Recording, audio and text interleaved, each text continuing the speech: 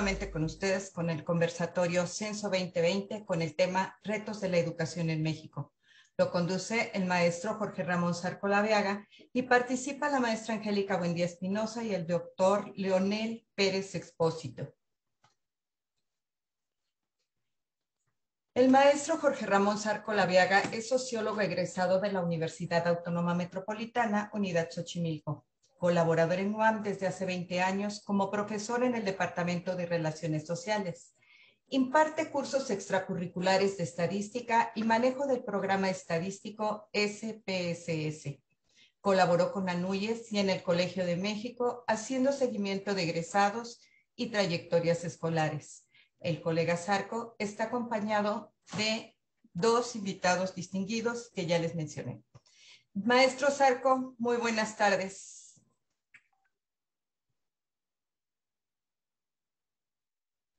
Hola, buenas tardes. Un saludo a todos. Eh, agradezco a Leonel, agradezco a la maestra Angélica su participación. En el caso particular, a nuestro auditorio, el doctor Leonel Pérez Expósito es profesor titular de tiempo completo en la Unidad Xochimilco de la UAM en el Departamento de Relaciones Sociales.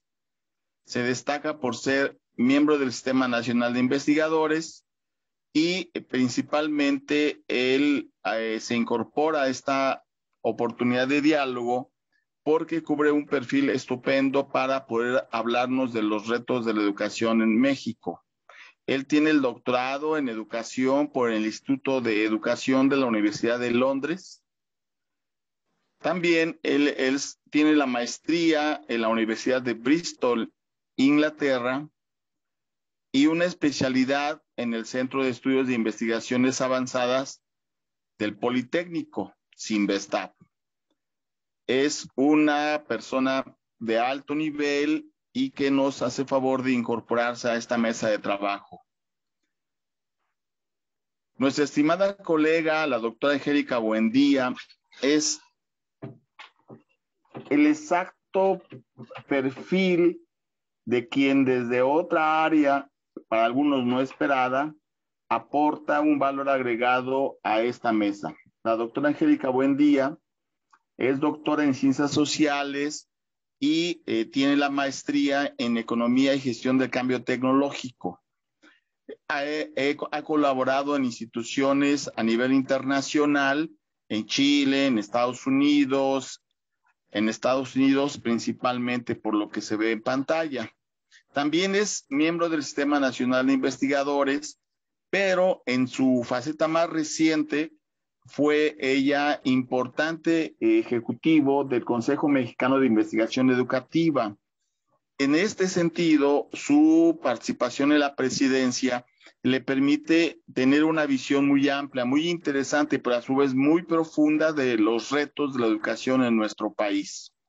Actualmente se desempeña como jefa del Departamento de Producción Económica también en la UAM Xochimilco. Leonel es coordinador de la maestría en educación. Por lo tanto, esta pareja, este par de investigadores son de alto valor agregado y seguramente lo vamos a poder incorporar en el diálogo.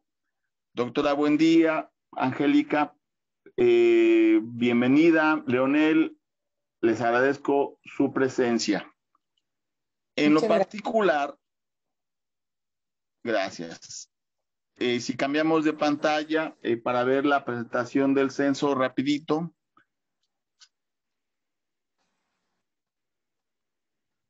Cuando hablamos del censo, estamos hablando de un proyecto que reúne varias características. No solamente es, si gustas ir pasando la primera lámina, no solamente es, es un proyecto que nos permite tener eh, un instrumento. Este instrumento para efectos de nuestro país data de hace muchísimo tiempo, más de 100 años, levantando información censal. Mucha de ella tiene entonces antecedentes precolombinos en nuestro país. Se ha institucionalizado desde hace un buen rato, excepto un proceso particularmente importante de del proceso revolucionario de nuestro país. Fuera de eso, ha sido una constante. Por lo tanto, en nuestro país tenemos mucha madurez en el proyecto del censo. Por favor, la siguiente. En particular, hemos aprendido tanto del censo que ahora ya es una política de Estado, por lo tanto es un asunto de interés nacional en el diseño de la política pública y su posterior publicación. Se combina con otros proyectos de levantamiento de información. Sí, la siguiente, favor. ¿Qué pretende? ¿Qué pretendemos obtener del censo? Pues tenemos que recabar información de interés nacional y que ahora nos permite tener una visión profunda, importante, una visión longitudinal. Entonces, muchos de los asuntos que podemos abordar van llevándose en una secuencia de cambio en el tiempo. La siguiente, de favor. Normalmente ubicamos el censo en términos de levantamiento de información de individuos. Claro, es de interés. Sin embargo, cambiamos, por favor. En términos estrictos, también es conocido por hacer un recuento de viviendas para conocer los entornos, algunos aspectos del entorno rural o urbano. Esto es lo normal a la hora de entender un censo. Sin embargo, cambiamos de lámina de favor. Lo que nos interesa finalmente es obtener información de forma tal que podamos resumirla y tener características demográficas, socioeconómicas y culturales. Ahí es donde entra el ejercicio que vamos a desarrollar en unos instantes. Pasamos de lámina. A la vista entonces tenemos una parte del cuestionario básico que se ocupa en el censo. Normalmente aquí vemos las características de las viviendas, parte del entorno que nos interesa conocer, cambiamos de lámina, y las, los bienes que se pueden identificar y que han sido objeto de trabajo con otros colegas en otros conversatorios. En estricto, estamos llegando a la zona en donde a nosotros nos interesa para esta sesión. Cambiamos de lámina. Aquí ya estamos preguntando sobre la información de la población en lo particular, su estructura, aspectos de eh, grupos étnicos, condición de habla, etcétera. Y llegamos a la, a la siguiente lámina, en donde aquí vemos inicialmente el subtema educación y dice condición de asistencia escolar, nivel y grado de escolaridad y condición de alfabetismo. Este sería, digamos, el punto de arranque desde el cual vamos a desarrollar nuestra actividad. Hasta ahí presentamos inicialmente qué es lo que el, el, el censo ofrecería a cualquier usuario al arranque de su consulta. Para efectos de este conversatorio, la gran pregunta con la cual vamos a iniciar es, ¿cuáles son los retos que nuestros eh, colegas Leonel y la maestra Angélica perciben en la educación en México y cómo ellos pueden ser perfilados, caracterizados, ubicados inicialmente con el censo. Leonel, doctora, buen día. ¿Cuáles son para ustedes los retos que hoy tenemos que enfrentar en educación en nuestro país? Adelante. Gracias, Jorge. Eh, me gustaría hacer una mención antes de entrar como a los grandes problemas educativos que vive México. Eh, yo soy de las personas que piensa que el censo es un eh, instrumento demográfico fundamental para todas las naciones y que por su naturaleza no puede ser muy amplio en las distintas áreas que cubre. Eh, tiene la característica de dirigirse a toda la población que tiene una residencia habitual en nuestro país si bien nunca eh, es posible eh, recolectar información con toda esta población, pero llega a la mayoría de las personas que eh, residimos habitualmente en nuestro país. Y, eso tiene un valor muy importante para los gobiernos en términos de ofrecerles información básica sobre su población. empezando por el número de habitantes eh, que residimos en el territorio nacional y tenemos que reconocer que conforme ha ido avanzando el censo, se han ido agregando, como tú mencionaste, eh, información sobre em, las características básicas económicas de la población, algunas características sociales y culturales de estas. Eh, entonces, em, la pregunta, digamos, en qué medida el censo responde a los principales problemas educativos, pues tendríamos que enmarcarla en sus limitaciones por la naturaleza que tiene. No, no es un instrumento que nos permita dar información, por ejemplo, sobre la calidad de la enseñanza en nuestro país. Eh, no es un instrumento que nos puede dar cuenta de qué tan pertinente es la educación que reciben los distintos grupos sociales en nuestro país. Pero sí nos da información básica, sin la cual es difícil pensar en fortalecer el sistema educativo. Nos da información fundamental sobre la asistencia a la escuela, sobre el nivel educativo de la población, tanto como tú mencionaste por grado, niveles incompletos o completos, y también nos da información sobre eh, alfabetismo y aptitud para la lectura y la escritura. Por supuesto, por su, nuevamente por su naturaleza, los datos que recoge el centro, el censo, perdón, en relación a alfabetismo y aptitud lectora, pues son declarativos. No, no se puede estudiar finalmente a las personas y qué significa que se declaren como alfabetizadas o no. Hay personas que pueden declarar que tienen aptitud lectora, pero no necesariamente eso significa que puedan eh, interpretar distintos tipos de texto, etc. Eh, a pesar de eso, eh, es un instrumento también muy importante en relación, a mí me parece, a la disponibilidad de la educación en nuestro país, particularmente la educación básica y media superior. Es difícil pensar que podemos tener un sistema educativo que garantice el derecho a la educación si no hay escuelas disponibles en las localidades donde eh, habita y reside la población. Y algo muy valioso que tiene el centro, el censo, perdón, estoy eh, confundiendo, eh, algo muy valioso que tiene el censo es que nos ofrece la, el nivel educativo de la población por tamaño de localidad y esto nos puede dar un indicador también de la disponibilidad educativa que hay en esas localidades. Eh, entonces, digamos, yo como primer comentario quería, quería rescatar el valor del censo y dejar claro que por su naturaleza se limita a una información básica sobre la educación de la población en nuestro país. Hay que combinarla con otras fuentes entonces.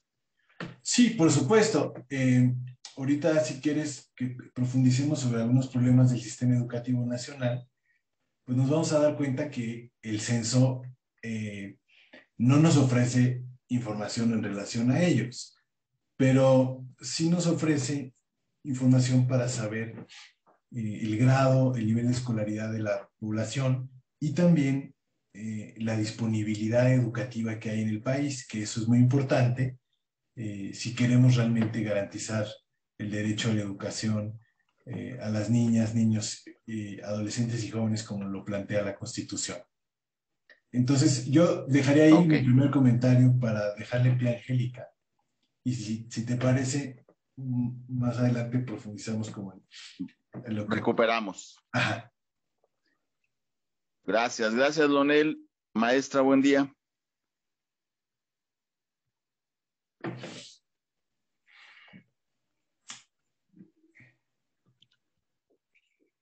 Creo, Angélica. El audio no sé si... ¿Ya, ¿Ya me escuchan? Ya, ¿verdad? Ah. Ya, maestra. Bueno, primero, pues repito el mensaje. Buenas tardes a todos. Me da mucho gusto estar aquí. Primero quiero agradecer la invitación al maestro Zarco para estar hoy con ustedes y además, pues es un gusto y un placer eh, compartir la mesa y este diálogo con el doctor Leonel Pérez, que eh, pues es una, un, colega que yo admiro y eh, su trabajo y además pues somos muy buenos amigos, así que pues es un placer poder repartir hoy aquí sobre, sobre este tema que eh, de partida el, el, la pregunta y eh, lo que nos plantea el profesor pues es un gran reto, ¿no? ¿Cuáles son, justo es un gran desafío en términos de la pregunta que plantea, ¿cuáles son los desafíos de la educación en México? Bueno, es una pregunta enorme eh, pero bueno, quiero sumarme a este punto de arte que Leonel ha tocado y que ha, me parece que ha colocado bastante bien para iniciar o, o por lo menos comentar algunos de estos retos, desafíos y pendientes que tiene la educación mexicana o el sistema educativo mexicano para ir como eh, acotando un poquito más la problemática que, a la que se nos invita hoy a, a participar. Creo que ya Leonel ha dicho lo que no es el censo. Yo solamente agregaría en este sentido que efectivamente eh, coincido con él en que no hay o no es posible, por lo menos desde la información que tenemos, pero también por la evolución que ha tenido la construcción de esa, de esa información, partir de que un solo sistema de información, ¿no? El censo en este caso, que es nuestro, que es nuestro objeto de discusión y su relación con la educación, sea suficiente para justo analizar, estudiar y, por supuesto, tomar decisiones que tienen que ver con la conducción y con la orientación de la educación mexicana. Sin embargo, como él, ya lo ha comentado, pues el censo nos da una serie de elementos y de datos importantes que creo que ayudan por lo menos a perfilar un primer, a tener, a desarrollar y a, hacer una descripción más o menos eh, profunda sobre, eh, pues, cuáles son las condiciones, justo desde la perspectiva de quienes lo responden, porque, eh, digamos, los censos son eso, ¿no? Una, un, un, cuestionamiento a quienes lo responden y parten de la confianza de quienes nos están dando sus respuestas, pues nos están diciendo cómo se miran y en dónde y cómo están situados en función de las preguntas o de los ítems que eh, considera el censo como información relevante para después construir un sistema de información. ¿no? Entonces, ¿Qué es lo que el censo nos puede ayudar? Por lo menos creo que es una herramienta muy útil que tal como lo comentaban ya ustedes, sumada a otros sistemas de información, pues eh, eh, quienes nos dedicamos a la investigación o quienes analizamos o quienes tenemos interés en cierta temática, pues vamos a tomar del censo aquello que consideramos que es relevante en nuestro análisis, ¿no? Y entonces me parece que en ese sentido hay que eh, situarlo en su justa dimensión y reconocer que el censo en sí mismo es valioso eh, para el país en términos de toma de decisiones, para el reconocimiento de qué está ocurriendo con su población, de cómo está distribuida en el país en términos pues de eh, eh, población rural, población urbana, características de la misma población, características de su vivienda, que son elementos relevantes, por ejemplo, para analizar ya después temas más concretos y retos que tiene la educación mexicana, ¿no? Yo quiero colocar uno al principio porque ya creo que eh, eh, tenemos claro que el censo es uno de, los, de las fuentes de información y que si tenemos un problema, también hay que decirlo, es que nosotros tenemos varias fuentes de información, pero también dependiendo del interés que tenemos, ¿no? E, es decir, pensar que se pudiera contar con un solo, por ejemplo, en el caso de la educación, un solo sistema de información con toda la información o con todos los datos que podemos requerir para investigar, para analizar, para tomar decisiones, para hacer pronósticos, escenarios, etcétera, pues es, me parece que una gran aspiración, una muy válida aspiración, pero bueno, también habría que revisar cómo se ha ido construyendo, ¿no? Cómo se han ido construyendo las fuentes de datos, las fuentes de información en los diferentes ámbitos que tienen que ver con la educación y de qué manera pues podemos sumar y no perdernos en esta idea de que mientras no haya un solo sistema de información con todo, pues no podemos hacer nada o no podemos estudiar algún fenómeno, algún hecho que nos interesa, ¿no? Entonces, eh, bueno, ahí, ahí me quedaría con la primera reflexión. el, el, siguiente tema que yo quiero poner a discusión y que colocaría como un punto de partida en el que creo que Leonel y otros colegas y yo hemos coincidido, es el asunto de que el censo, el censo sí nos da algunos elementos básicos para hacer un análisis sobre las condiciones socioeconómicas, demográficas de eh, quienes van a la escuela, ¿no? De quienes asisten a la escuela, eh, eh, digamos, cuáles son este, la percepción de ellos, ciertas características sociodemográficas que nos, nos colocan en el asunto de los grupos o la estratificación social en el país en términos de en qué lugares, quiénes van a esas escuelas, quiénes asisten y cuáles son los problemas. Y me estoy refiriendo puntualmente al tema de la desigualdad de origen socioeconómico fundamentalmente, pero de otras desigualdades también, que hacen entonces eh, o que ponen a este problema a estructurar, como lo es la, desigualdad, como la antesala para los problemas que después podemos eh, comentar aquí o los retos y los desafíos que tiene la educación mexicana. Igualdad entre los sujetos, entre los habitantes de este país, han determinado en buena medida cuál es su lugar en las escuelas, en el sistema educativo, cuál es su origen y cuál es su destino en términos de acceso, permanencia y eh, terminación de los estudios en los diferentes niveles educativos y en las transiciones educativas, en donde lo que vemos, pues ya a partir de la educación media superior y superior, pues una gran eh, desigualdad e inequidad, que es lo que caracteriza al Yo con esta primera reflexión me quedaría para colocar el tema. Combinando, gracias maestra, combinando eh, las mesas previas, cuando hablamos de discapacidad, por ejemplo, se ubicaban eh, el tipo de discapacidades y podían combinarse dónde se encuentran. Como decía Leonel, el, el, censo actualmente ya nos da una dimensión geográfica o territorial muy particular y se puede combinar la propia información interna del censo para combinar dónde se encuentran, por ejemplo, ciertos niveles de, de, de, de población por la discapacidad y la disponibilidad de, acceso a servicios educativos, en qué condiciones viven. En el caso particular de hablantes de lengua indígena, o sea, directamente, como bien dice Lonel, no se combina, pero sí dentro del propio censo se puede hacer una suerte de rejuego, no es la palabra correcta, pero sí es salvable mucho en la combinación interna. Ejemplo, cuando nuestro estimado colega eh, Vicente Ampudia nos hablaba de tecnologías de información y comunicación, que también viene en el censo, podía decirnos él en qué entidades, en qué localidades, qué desarrollo, qué infraestructura aparentemente podía darse. Entonces, hay una posibilidad directa por las preguntas, después cierto nivel de combinación, pero llega un momento en el cual entiendo, es necesario ir a otras fuentes de información adelante, eh, por ejemplo, mencionabas tú, Leonel, que algo que debe de ser abordado es calidad y pertenencia. Sí, bueno, yo creo que a pesar de que en la lógica del derecho a la educación que yo eh, me gusta tomar, eh, por supuesto que el hablar de la garantía del derecho a la educación no significa únicamente que las personas estén en la escuela, sino lo que sucede dentro de ellas.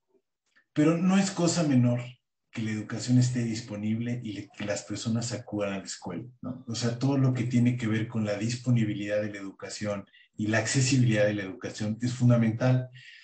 Y como bien dices, el, centro, el censo nos da la posibilidad de cruzar variables para ver qué grupos de la población tienen una asistencia a la escuela, eh, hasta qué niveles eh, o en qué zonas geográficas de nuestro país. ¿no? Eh, por ejemplo, en, en, el 2000, en el censo del 2010, a partir de esos datos, podríamos, podríamos estimar que en las comunidades de menos de 15.000 habitantes, había más de un 30% de estudiantes que no asistían o de jóvenes que no asistían a la educación media superior. Eso ha cambiado en el censo del 2020, pero particularmente por la penetración que ha tenido el telebachillerato. Tengo que quiero señalar que, entonces, ¿qué significa que la educación esté disponible? No solo hablamos de que la gente asista a la escuela, sino al menos como lo ha planteado eh, la Comisión Nacional para la Mejora Continua de la Educación es que tengamos una infraestructura adecuada, eh, maestras y maestros que tienen una formación para atender a esa población y materiales educativos básicos. O sea, lo que quiero decir es que cuando tomamos el indicador del censo de asistencia a la escuela, no, no, no significa eso necesariamente que podemos dar por sentado que la educación está disponible, porque tú puedes ir a la escuela, hablar una lengua indígena y encontrarte en esa escuela con un maestro que no la habla. Entonces, vas a la escuela, pero la educación no está disponible porque no hay un maestro que tenga la formación para enseñar en ese, en ese en esa, lengua. Entonces, por ejemplo, a partir de los datos del censo del 2010, en el estado de Chiapas, casi el 20% de los niños y las niñas que asistían a la escuela contaban con un maestro que no hablaba su lengua. si, a, eso sumamos, por ejemplo, mm, la disponibilidad de materiales educativos básicos, como libros de texto, por ejemplo, y para personas, por ejemplo, con discapacidad, entonces mm, ya empezamos a, darnos cuenta que el hecho de asistir a la escuela no, no necesariamente significa que la educación esté disponible. ¿ah? y menos que sea accesible, porque alguien puede eh, reportar que asiste a la escuela, pero asiste de manera irregular por los costos que ésta tiene o por la distancia que existe de su hogar hacia la escuela. Eh, entonces, eh, aquí es, como tú señalas, donde el censo puede quedarse corto para valorar si la desigualdad que tenemos actualmente en el acceso a la educación eh, o sea, no nos da para valorar eso, ¿no? Sino, eh, porque solo, solo nos ofrece la idea de asistencia a la escuela, pero para hablar de accesibilidad necesitamos otra, otro tipo de información, ¿no? Ok, gracias. Eh, en algún momento dado ya se tiene ubicado un nivel de madurez, fortaleza en esas otras fuentes de información que subsanarían equilibrarían, complementarían al censo en, esta lógica que tú planteas, este, Leonel, eh, pero no sé si la mesa buen día, con el rango de visibilidad que le da la, la experiencia en la cabeza del COMIE y lo que los investigadores a nivel nacional señalan, ¿dónde estarían esas otras fuentes de información? ¿Las tienen que preparar ellos o hay algunas instituciones que se vuelven como faros como diques en algunas áreas en particular? Bueno, yo quisiera complementar un poco lo que señala Leonel antes de, pasar a ese punto de cómo el censo se puede complementar con otro tipo de, fuentes de información. Eh, justamente lo que él señala para la educación media superior. Es, ocurre, eh, digamos, no lo mismo, pero muy similar para la educación superior. Lo que el censo permite ver es eh, cómo quienes asisten a la educación superior, y otra vez, solamente estamos hablando de asistencia, no de, o sea, asistir no te garantiza precisamente, como Leonel decía, en el caso de las zonas donde eh, no se habla la lengua, eh, donde los maestros no hablan la lengua indígena, o donde, por ejemplo, el caso de los telebachilleratos o telesecundarias, donde el tipo de educación responde a una modalidad distinta y donde los materiales, eh, el desarrollo de los aprendizajes autónomos de los estudiantes se vuelve de los niños, de las niñas y los jóvenes muy importante, pues en el caso de la educación superior, lo que nosotros sí podemos ver es que eh, en algún momento hemos dicho, ha habido un proceso de reelitización de la educación superior, porque quienes van a la educación superior, que además son cuatro de cada diez jóvenes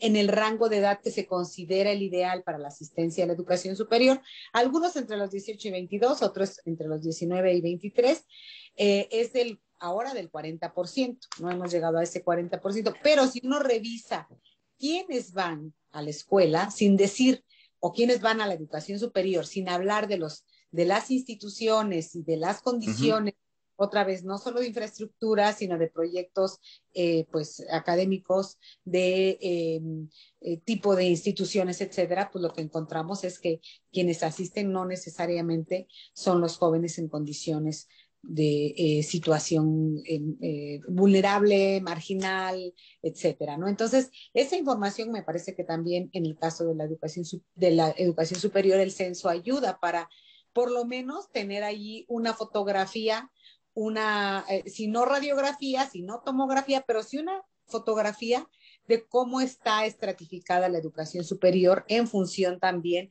de la propia eh, condición socioeconómica de las y los jóvenes, ¿no? Ahora, ¿cómo se, cómo se eh, completa o cómo se complementa la, la, información del censo? Depende mucho de qué es lo que queremos saber. Por ejemplo, en el caso de la educación básica, me parece a mí que eh, el tipo de información que se va requiriendo en el eh, alguna información que se va eh, gestionando por la SEP, ¿no? Por el propio, la propia Departamento de Estadísticas de la SEP, en esto que se llama cifras, cifras SEP para la educación, pues hay un análisis de cierta de ciertos datos, de cierta información más precisa que tiene que ver pues con un tipo de instrumento distinto del que se obtiene, que está más orientado a las escuelas, no a los, eh, en este caso, pues a la, a la, a la población, ¿no? Es un, un, una fuente de información distinta, pero ahí hay una parte la otra también creo que es el procesamiento que se ha hecho desde por lo menos eh, la fundación de lo que fue el INE y de ahora el Organismo para la Mejora Continua, es una información muy específica de cosas que nosotros queremos investigar y que requieren de diseñar instrumentos para obtener información muy puntual sobre lo que queremos. Yo recuerdo, por ejemplo, el informe sobre infraestructura escolar eh, todavía del INE, que era muy preciso en cuanto a cuáles eran realmente, que se empezó un poco al revés, ¿no? Primero se, se conocieron las, eh, primero se, se, hizo toda la reforma, se hace eh, la evaluación estandarizada para los, los, do, los, docentes, para los, los profesores, y después se da a conocer cuál era la situación en términos de infraestructura de las escuelas, lo cual era como un choque brutal porque, pues, porque se había evaluado de la misma manera el gran, la gran demanda de los La diversidad, ¿no? La diversidad y las condiciones en las que los profesores desarrollaban sus tareas cotidianas. Y en el caso de la educación superior, acaba de haber una iniciativa muy, muy reciente, porque también había una demanda constante de que la información que tenemos sobre el sistema de educación superior, por ejemplo, se ha albergado bastante y ahora también sobre la media superior un poco en la NUYES, que desde hace varios años igual, pues tiene un tipo de información distinta, otra vez, que no viene de los eh, jóvenes y de los estudiantes, y las estudiantes, sino proviene de las instituciones y que además coincide con lo que se llama propuesta 911 que aplica la SEP a todas las instituciones de educación superior del país para ir construyendo otro tipo de información como eh, los profesores, eh, las, el número de estudiantes inscritos y una serie ya de información más rica. Y recientemente ha habido una iniciativa eh, con, bueno, un, un, convenio que se firma con la UNAM, con un proyecto que por muchos años fue es un proyecto de investigación que se llama EXECUM o ECUM, que es pues una fuente de información sobre, en ese, en, en, en ese entonces eran cuando empieza el Execum, coordinado por Imanol Ordorica y en la gestión del, del eh, rector eh, Narro, era una, un, una base de datos para 60 instituciones de educación superior, pocas comparadas con las miles que hay en México, pero era un abono a la información que se requería. Y esa iniciativa pues ha ido madurando, ¿no? En la UNAM ha tenido un espacio muy, muy importante y hoy, se hace muy poquito, yo creo que mes, mes y medio, a lo mejor un poquito más, se firma un convenio entre la SEP y la UNAM para que la manera en cómo tiene sistematizada la información, este, esto que fue un proyecto, pero que se ha constituido ya en una política institucional de la UNAM, pues pueda recuperar y poner al servicio eh, del, país la información de, eh, en cuanto a educación superior, que todavía, ojo, no es toda, pero reitero, yo creo que es una buena aspiración sí. tener un sistema integrado, pero bueno, pues es una tarea muy difícil, ¿no? Y en el caso de la educación media superior, creo que también hay eh, iniciativas relevantes sobre cómo colocar, sobre todo, le señalo de cifras CEP, para eh, tener mayores eh, datos y construir información valiosa para la toma de decisiones. Nada. ¿Es, ¿Es, esa la ruta? Este, perdón, Leonel, perdón, maestra. ¿Esa es la ruta? Que ciertos centros e instituciones eh, maduren una parte de sus proyectos a nivel casi, casi, digamos, gabinete, proyecto interno, y una vez que, comillas, se acredita, sea retomado por esta institución, mencionó usted tal vez Anuyes, tal vez el Instituto de Mejora Continua o la misma SEP, esa sería una ruta correcta que se proba, que se prueben los, los, sistemas de información a nivel eh, modelo eh, académico y después irse agregando a otros niveles para ir madurando. Esa es la ruta eh, que se ha explorado para, para ver la validez. yo aquí creo que es importante diferenciar entre las instituciones que generan la información, que recolectan los datos, y quienes construyen los indicadores de interés, como decía Angélica, para cada nivel o tipo educativo.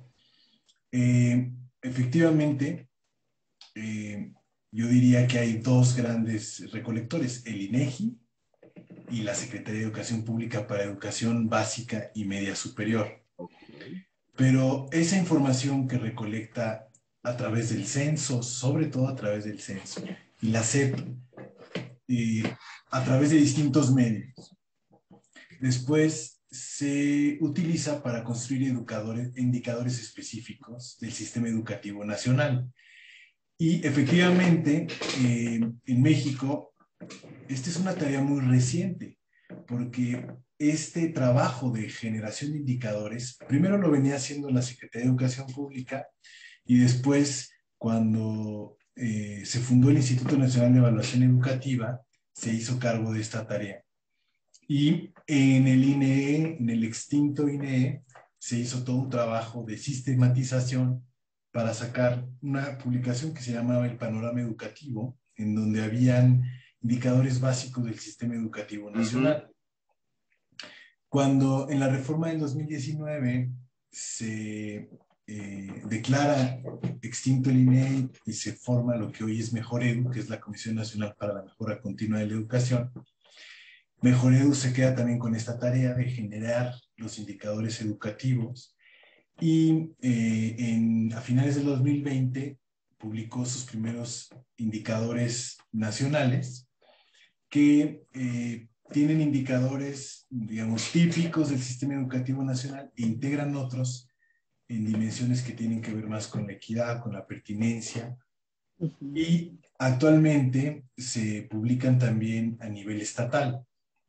Eh, entonces, si lo vemos en perspectiva histórica, es muy reciente la tarea de sistematizar a nivel nacional información que recuperan otras instituciones para construir indicadores sobre el sistema educativo, al menos en básica y, y media superior, del sistema educativo nacional. Ahora, eh, la reforma del 2019 tiene la gran ambición de ampliar la obligatoriedad de la educación y integra eh, hacia los dos extremos. Por un lado, la educación inicial y eh, la educación superior, con un carácter progresivo de obligatoriedad que luego se va también a traducir en la ley de educación superior que Angélica conoce muy bien. Pero esto quiero señalar, al integrar a la, educación básica, la educación inicial, escolarizada y no escolarizada, ahí el censo se nos empieza a quedar corto porque el censo recupera información eh, de, sobre educación a partir de eh, tres años o más. Y la educación inicial eh, abarca antes de los tres años. Entonces, sobre esta parte del sistema educativo nacional y de la educación básica, no tenemos información estadística, que eso es otro punto que vale la pena puntualizar. Estamos hablando de fuentes de información estadística, que son muy importantes, pero que eh, no nos dan para comprender todos los problemas del sistema educativo, porque necesitamos también información de otra índole, cualitativa, etc. Pero esta básica, que es estadística, eh, es fundamental, yo creo, para cualquier país. Pero quiero apuntar como una reforma educativa, como la que acabamos de pasar, pues ahora nos enfrenta al problema de cómo recolectar información sobre un nivel educativo que es la educación inicial, eh, que el censo no está, no está contemplando.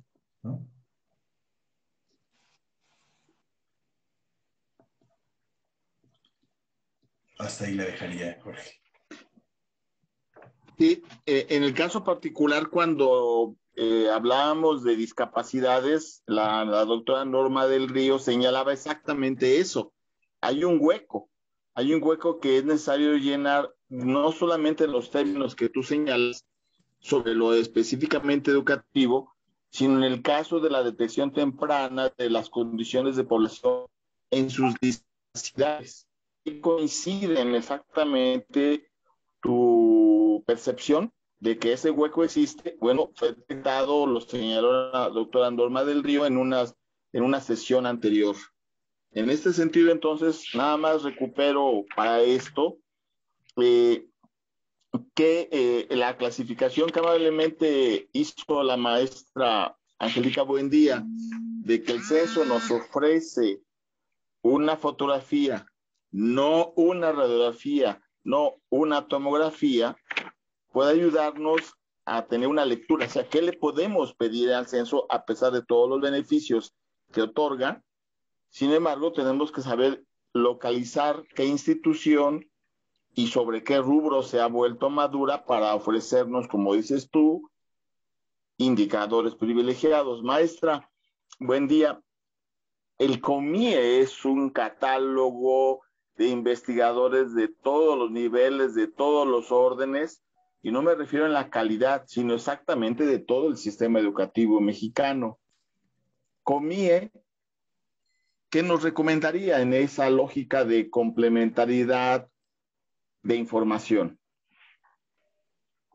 Eh, bueno, eh, sí, yo creo que eh, Leonel acaba de señalar algo que es muy importante, es que depende mucho, yo, yo considero que la información, y bueno, no, no voy a decir nada nuevo, disculpen, pero es, uno puede tener no te datos, construir información y después construir indicadores en función de lo que, de lo que estás analizando de lo que quieres, eh, para qué los quieres, qué quieres mostrar, cuál es su utilidad, ¿no? Porque una, tú te puedes llenar de muchos datos y al final no saber qué hacer con ellos y no saber interpretar, no saber construir información y no, y, puede no serte útil todo lo que hiciste, para, hiciste para la toma de decisiones o para el trabajo que tú, tú estás haciendo, ¿no?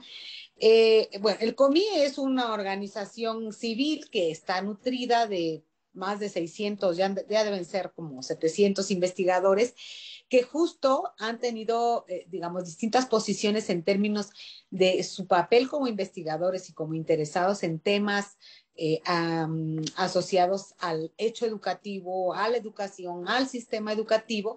Y bueno, de ahí justamente eh, se derivan pues eh, quien ha dirigido o quien dirigió en su momento el INE, este, quien ahora dirige la Comisión para la Mejora Continua, es decir, ¿Qué es lo que el, el, COMIE puede demandar? Pues yo creo que más bien en el COMIE y así como, y no solo en el COMIE, sino los investigadores educativos, pues nosotros tenemos una función que tiene que ver con el esclarecimiento de ciertos problemas, de ciertos cuestionamientos que nos hacemos en torno a la educación en sus distintos niveles, modalidades, hechos y todo lo que ustedes le quieran añadir. Y nosotros hacemos eso, ¿no? Entonces, yo creo que la, el fin para el que yo requiero la información también tiene que ver con la forma o las metodologías y las eh, técnicas que yo utilizo para irla construyendo depende qué es lo que yo voy a hacer. Y claro que podría demandar, pues sí, claro, el comité podría demandar, pero también podría colaborar, ¿no? Con una serie de, eh, información que se va acumulando. Ahora, Leonel decía muy claro, hay que ver que el censo y la información estadística, el censo que nos da información, un tipo de información, y todo lo que se deriva en información eh, digamos, en datos cuantitativos, en información de carácter cuantitativo, tienen un objetivo y un fin. Y después, bueno, dependiendo de lo que queremos estudiar, pues entonces nosotros podríamos eh, eh, seguir otro tipo de metodologías para complementar cuando estamos hablando de investigación, pero también cuando estamos hablando de eh, investigación muy específica como la que hace, eh, en este caso, que, que hacía el INEO, que hace la comisión, eh, para pensar en el diseño e implementación de política pública en el ámbito educativo y que también se nutren de la investigación. Creo que aquí se vuelve relevante el vínculo entre investigación y política, ¿no? La investigación educativa en, el, en, el, en lo que a nosotros nos interesa, que es la educación, pues se, se vuelve relevante y otra vez eh, coloca al centro de la discusión que los datos o la mirada solo cuantitativa del fenómeno que estemos estudiando no es suficiente, por lo menos en la educación. Por eso creo que la investigación educativa es muy prominente aquella que combina o que hace metodologías mixtas donde cierta parte o ciertos eh, aspectos de los fenómenos, de los problemas explican o contribuyen a la explicación desde lo cuantitativo, pero también, como bien decía Leonel, pues requerimos de información que nos dé, por ejemplo, hablar de calidad, ¿no? Eh, muy bien, acceso a la educación, pero ¿qué pasa con la diversidad en las calidades de las escuelas, de la formación de los profesores? Y lo mismo pasa en la educación superior. Creo que ahí no hay mucha distinción, lo que sí es, bueno, pues son niveles y necesidades distintas, pero creo que es, es la misma situación, ¿no? Y un asunto fundamental que tiene que ver es sí que requerimos ir trabajando entre la... ¿Por qué? Porque los niveles entre sí se conectan. O sea, la, la, educación media superior requiere de la de información de la educación básica. Y como bien decía Lonel, esta gran ausencia de la educación antes, lo que es eh, pues los primeros años, ¿no? Eh, de la educación de los niños y niñas, se requiere, igual la educación superior requiere de la información de la educación media superior para diseñar, para implementar, para evaluar políticas, acciones, estrategias, etcétera, ¿no? Voy a poner un ejemplo muy concreto. Discutíamos qué, qué está pasando con la pandemia y si ya hay quien está hablando de la pospandemia. Yo digo que no estamos todavía en la pospandemia y quién sabe qué es eso, ¿no? Pero estamos en un momento muy, muy complicado porque, bueno, ahorita estamos otra vez en semáforo rojo, estamos, seguimos en todas, prácticamente todas las instituciones de educación superior con eh, la educación mediada por tecnología, media, medias que la hacemos bien o no, bueno, ese es un asunto. Pero el otro asunto es que los efectos de lo que estamos viviendo, no nos estamos viviendo ahora como se ha querido un poco prever que estamos viviendo. Estamos viviendo y reaccionando, ¿no? No, no planeamos nada y digo que vámonos, nos vamos acomodando. Pero realmente los efectos, por ejemplo, yo pensaba ahorita en el ingreso que acabamos de tener el lunes pasado a la UAM, ¿quiénes son los chavos que estamos recibiendo? Porque esos chavos vienen de haber cursado un año en la educación media superior a distancia. ¿Quiénes son? ¿De dónde vienen? ¿Cómo vienen? ¿Cuáles son sus rezagos educativos con los que la universidad va a cargar? entre comillas, la palabra cargar no lo digo en términos, en sentido peyorativo, ¿no? ¿Quiénes son ellos? ¿Cómo los vamos a ayudar? ¿Cómo los vamos a atender? Imagínense ustedes si nos, si seguimos así en el próximo ingreso, recibimos otra vez, o sea, nosotros de aquí en adelante. Otra generación. Vamos a recibir muchas generaciones que provienen de este problema que estamos viviendo. ¿Cómo se va a preparar la universidad? Ya, ya, yo decía, ya no discutamos el asunto de ¿y qué estamos haciendo? Y si la formación docente y que, no, a ver, vamos a, darle un poquito el giro, la vuelta, vámonos a poner creativos. ¿Y qué nos espera? Todavía no podemos medir. Ahora, para nuestros chavos que ya cursaron año y medio de educación y ahorita salieron, egresaron, ¿qué les espera a ellos? ¿Cuáles fueron las debilidades con las que salieron, los rezagos con los No hay que ser triunfalistas, es que implementamos la educación remota y todo lo resolvimos y qué bonito y qué padre cumplimos. No, yo creo que es muy bueno alabar lo que hicimos y reconocer el logro, pero el desafío es esos muchachos que egresaron, ¿a dónde van a ir? ¿Qué rezagos les quedaron a los que requerían escenarios de práctica? Qué rezagos llevan en su formación y cómo los van a resarcir o qué va a hacer la universidad o ya terminó su papel la universidad y ya se fue. Cada nivel educativo. ¿Y qué, abanicos de opciones se deben de abrir para ellos en educación continua, por ejemplo, no? Por ejemplo, entonces yo digo, e, ese es el sentido de la información. ¿Qué, va, qué hacemos y eh, cómo vamos conformando diferentes fuentes, diferentes tipos, y ya creo que el uso, la creatividad, eh, eh, cómo la ocupamos, como bien decía Leonel, qué indicadores construimos, cómo la complementamos, pues esa está en el analista, en el investigador, en el tomador de decisiones, etc. Nada más, gracias.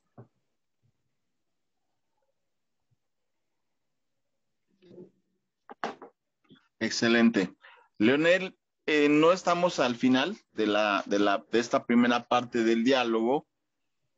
Si de tu parte hubiera una suerte de, resumen, creo que has hecho muy bien en señalar este desafío para la toma de decisiones eh, al, ocupar cuál es tu fuente y claramente entre los dos, eh, la doctora y tú han señalado que es qué tipo de pregunta, qué tipo de necesidad y por lo tanto a quién recurro, cómo la construyo eh, como una fuente de información para la toma en su momento de, de decisiones.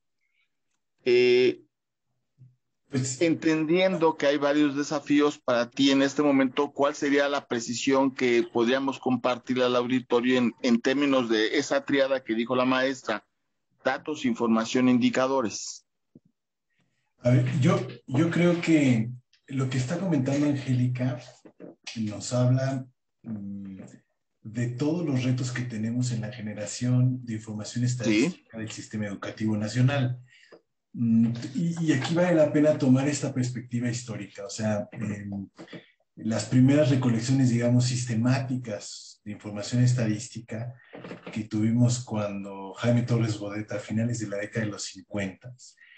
Em, y lo que yo te estaba planteando hace rato de cómo se fueron sistematizando indicadores a partir de la fundación del INE, me parece en el año 2002, te habla un poco de, de todo lo que tenemos que recorrer.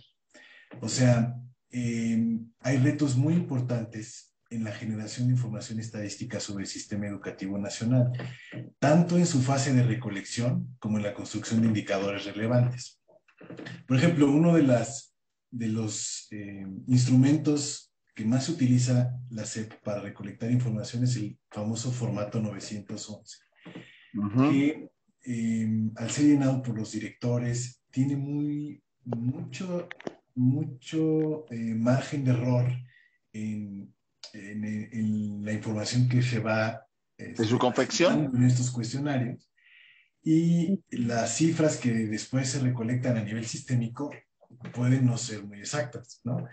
En, temas de transición y de trayectorias entre niveles educativos también tenemos muchos retos de cómo recolectamos información. Cuando, por ejemplo, cuando las y los jóvenes em, transitan de la secundaria a la media superior, dado que la media superior no está en muchas localidades de origen, hay mucha migración, incluso a otros estados, y es difícil capturar esa información. ¿no? Lo que señalaba Angélica del sistema que tiene la UNAM sobre educación superior, bueno, te habla que, que todo lo que tenemos que recorrer, más lo que acaba ella de puntualizar acerca de que las instituciones y las instituciones de educación superior más importantes, todavía tenemos muchos retos en una generación de información estadística sólida, regular, sobre nuestros propios procesos. ¿no? Entonces, el hecho de tener el censo, la Secretaría de Educación Pública como recolectoras y generadoras de información, ahora Mejoredu, la UNAM, no debe eh, hacernos echar las campanas al vuelo. O sea, hay todo un trayecto que tenemos que recorrer para tener información cada vez más confiable, más válida y más relevante, porque muchas veces no tenemos información estadística para las cosas que más importan, ¿no? Por ejemplo, sobre las maestras y los maestros en educación básica. Eh, entonces, em, yo digo que por eso decíamos al principio, y dado que este ciclo tiene que ver con el censo, bueno, valoremos lo que el censo puede, lo que el censo aporta como, como información para indicadores básicos del sistema educativo nacional, pero es eh, evidente que por su naturaleza no podemos descansar en él toda la información que necesitamos y es muy importante que vayamos cada vez eh, perfeccionando la recolección de información y la generación de indicadores eh, relevantes, ¿no? Ok. Tenemos, este, maestra, buen día. Ahí sí quisiera yo suponer, si el dato inicial, como bien dicen ustedes, en la recolección y en la, integración de indicadores, como bien señala Noel, tenemos aún muy, un largo recorrido por hacer. Tenemos entonces sí, digamos, la masa crítica, o sea, la comunidad de profesionales que está trabajando, pergueñando, esforzándose por construir a distintas generaciones de investigadores que logre esto, más allá de que si tenemos las fuentes de información, o sea, que vayan madurando eh, transitando de un indicador eh, de transversal a indicadores que permitan ser longitudinales, por ejemplo? ¿Así tenemos esa masa crítica?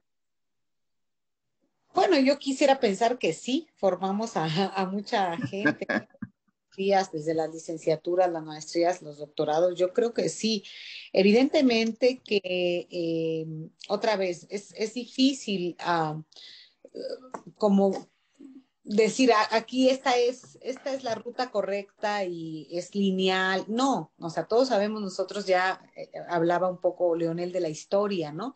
Y todos sabemos que eh, pues eh, la construcción a veces es defectuosa, la construcción en este caso de información, la construcción de, de lo que se requiere, pero tenemos que avanzar hacia allá. Y yo creo que hemos avanzado, tampoco hay que ser tan pesimistas, yo creo que tenemos, que nos faltan cosas, sí, sí nos faltan, pero también eh, yo no quisiera meternos a la discusión de eh, ¿por, qué, ¿Por qué no se fue construyendo? Bueno, nosotros, si uno analiza la evolución, por ejemplo, en el caso de la educación superior, bueno, pues eh, se va a dar cuenta que realmente la, la, información más sistemática, que también proviene de la 911, que tiene los mismos defectos que eh, señalaba Leonel para la educación básica, igualito que a veces lo llena el, alguien de por ahí del último de servicios escolares que le dicen llena esto porque hay que cumplir, ¿no? Y entonces, bueno, no, no es, no, no le damos el lugar. Pero luego ya dentro de las instituciones, eh, pues yo creo que eh, hay instituciones muy maduras. Por lo menos yo me atrevería a hablar de las universidades públicas, algunas que, y otras instituciones de educación superior que conozco en el país que, eh, que tienen sistemas de información muy maduros, muy ya, eh, pues eh, me refiero maduros en términos de la información que ellos van colectando de sus estudiantes, de sus profesores, sí. y eso hace que, bueno, por lo menos tengan un insumo importante para la toma de decisiones, ¿no? O para la orientación de por dónde quieren llevar el proyecto o los proyectos universitarios, o por dónde quieren llevar la conducción de una institución de educación superior o de una universidad. Entonces, ¿Quién lo haga? Pues yo creo que sí, o sea, yo no creo que seamos un país que no tenga la capacidad, los recursos para eh, pensar cómo, ¿no?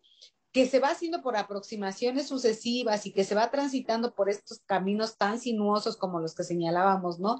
Eh, que ahora decía, bueno, la CEP, la NUYES, ahora la UNAM en este convenio y que pues uno lo que quisiera es que hubiese más como cohesión y colaboración entre las diferentes organizaciones, organismos que intervienen, gubernamentales, no gubernamentales, para llegar pues en el, en el corto plazo, en el corto plazo que uno eh, en su mente, que es el corto plazo, más rápido posible. ¿no? La ley, por ejemplo, la, tanto la, la, reforma, pero la ley de educación superior se coloca como una de las prioridades generar un sistema de información para la sólido, ¿no? Para la educación superior, porque es necesarísimo saber cómo es que eh, van ocurriendo. Y además son muchas cosas las que demandan. La cobertura, la calidad, el financiamiento, la transparencia y rendición de cuentas, ¿no? Este, los tipos institutos. Bueno, es una cosa muy, muy complicada. Los egresados, no sé, los estudiantes con todas sus etapas. Entonces yo creo que sí, sí hay, por supuesto, ¿no? Este, hay la capacidad y claro, tiene que ver mucho también la conducción y la orientación de cada uno de los, de los niveles y, de, y también a nivel institucional de cada una de las universidades, escuelas, etcétera, ¿no? El papel de los directores en la educación básica, este, de los rectores en las universidades, de, los directores en la educación media superior, de la diversidad que tenemos institucional en la educación media superior y superior, bueno, de la diversidad en todo el sistema, ¿no? pero pues me parece que sí hay, hay manera y, y, que bueno, pues se va uno aproximando poco a poco y que bueno, el censo, yo quisiera cerrar con eso, pues el censo, ya lo dijimos al principio y creo que es importante reiterarlo, nos da un tipo de información para lo que fue pensado el censo y para lo que es útil el censo. Entonces yo también creo que no hay que pedirle más, quizá pudiésemos mejorarlo, sí, pero tampoco pensar que iba a venir toda la información que sirve para tomar y, y hacer y decidir sobre todo la educación. Nada más, gracias. Perfecto.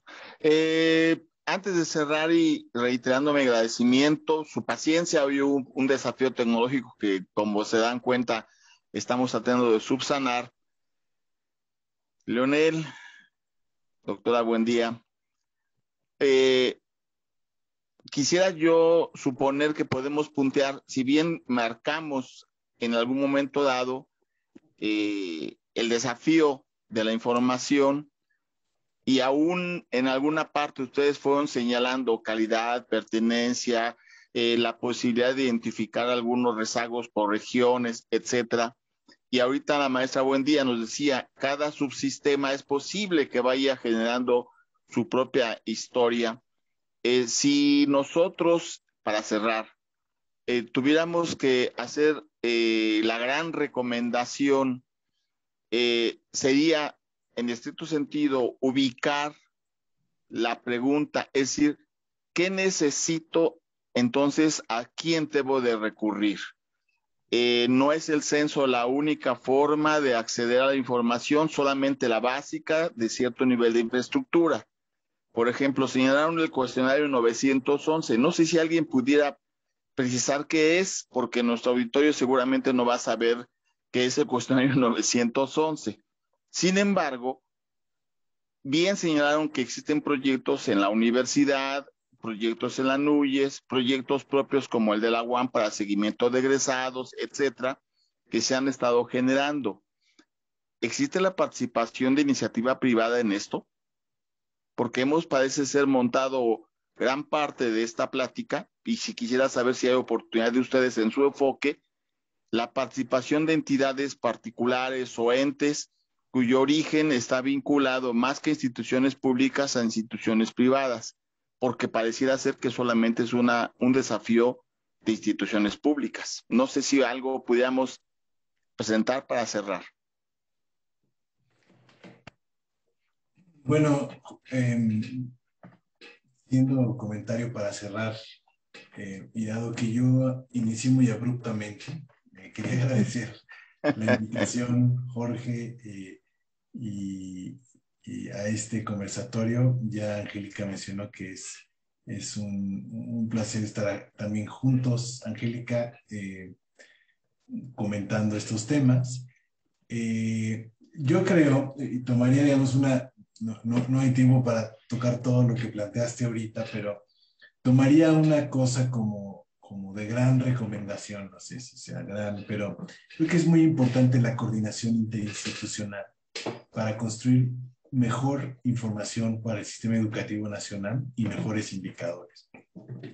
Entonces, entre el INEGI, la CEP, la Comisión Nacional para la Mejora Continua y las universidades, eh, se puede, fortaleciendo esa coordinación institucional, podemos ir teniendo mejor información y construir mejores indicadores. Para mí, me parece que la información sobre el sistema educativo nacional tiene que ser una cuestión de las instituciones públicas y no de las instituciones privadas. Eso no quiere decir que algunas instituciones contribuyan con la información. De hecho, obviamente se recolecta información en las escuelas privadas, pero eh, dado, por, dado que tiene un carácter, digamos, eh, estratégico de conocimiento del sistema educativo nacional, pues desde mi punto de vista tiene que ser una tarea de las instituciones públicas. Ok. Sí, bueno, yo agregaría, yo creo que la información sobre el sistema educativo mexicano es un asunto público, de interés público, y por tanto le corresponde en primera instancia al Estado coordinarlo. No quiero decir que el Estado sea el único, ya eh, eh, decía, creo que la colaboración y la cooperación interinstitucional es fundamental. Ahí ya en la colaboración, ¿no? E, es decir, la información sobre las escuelas, sobre las universidades, sobre lo que, y, y, un poco a la respuesta de qué es la encuesta 911, pues es una encuesta que aplica la SEP a todas las escuelas eh, con información eh, sobre, sobre eh, cada escuela, ¿no? Por escuela no por institución. Por ejemplo, la UAM tiene cinco unidades y responde la UAM, el TEC de Monterrey tiene 30 y se responde por cada unidad, ¿no? Entonces, eh, por escuela, por institución de educación superior, es eh, una encuesta que la SEP aplica y es de donde alimenta una buena parte de las cifras, este documento que se publica cada año sobre las cifras SEP del Sistema Educativo Nacional. Pero la información sobre el sistema educativo mexicano es un asunto público y por tanto creo que es una prioridad del Estado. Em, ahora, que tenga que colaborar otras instancias, sí, yo creo que hay que, hay que, hay, hay asuntos en los que esto, esto que parece a veces eh, los límites, los límites entre lo público y lo privado, que a veces algunos nos sacan ronchas a hablar. No, yo creo que en este caso no. Todo lo que es colaborar entre instituciones eh, públicas e instituciones privadas me parece que es valioso siempre y cuando la conducción y la información esté asentada en los organismos públicos, ¿no? O sea, el gobierno, en este caso, eh, el convenio del que yo les hablaba entre la UNAM y el gobierno, eh, yo no sé muy bien, pero supongo que va a transitar a una información del gobierno. Ahora, mucho cuidado porque a veces hay esfuerzos muy valiosos que se pierden, ¿no? Yo podría hablar específicamente de nuestra institución y, de los algunos elementos que nosotros consideramos importantes como básicos de información y que no tenemos y que hay esfuerzos, yo lo he visto así, eh, digamos, eh, esfuerzos individuales a nivel individual que a veces se pierden y que son muy valiosos. Entonces yo creo que vale la pena a nivel del país quedarnos con esta idea de que es una obligación del Estado generar este sistema de información, tanto que está en la ley, ¿no?